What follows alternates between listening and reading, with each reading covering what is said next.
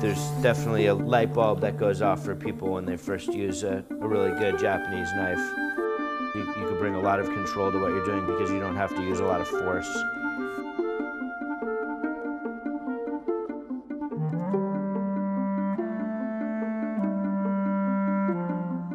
The Japanese have both a connection to, to craft and, and also their cuisine focuses a lot on how things are cut. This is your desert island knife, the Gyuto. If you're just gonna have one Japanese knife, then this would be the one. If you're gonna have two, that and a petty.